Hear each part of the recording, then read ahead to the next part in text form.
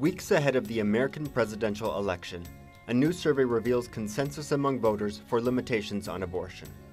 Commissioned by the Knights of Columbus, a Catholic fraternal organization, the sample of 1,700 Americans also compares the positions of practicing and non practicing Catholics on a wide range of issues.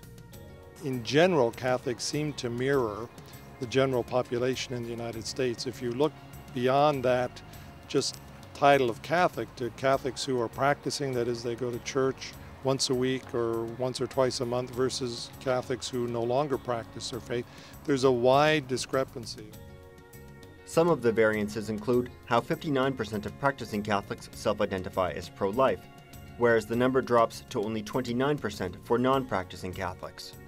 However, when asked during which trimester and for what reasons abortion should be permitted, only 8% of Americans favored unlimited abortion on demand. Even among pro choice respondents, 71% supported significant restrictions. If you go beyond the labels, which we think now are very polarizing and misleading, if you go beyond those labels and ask individuals, well, what would you really like to see? There's a broad consensus, and it's a consensus directed against unrestricted abortion. So that's the big news, I think, in the United States.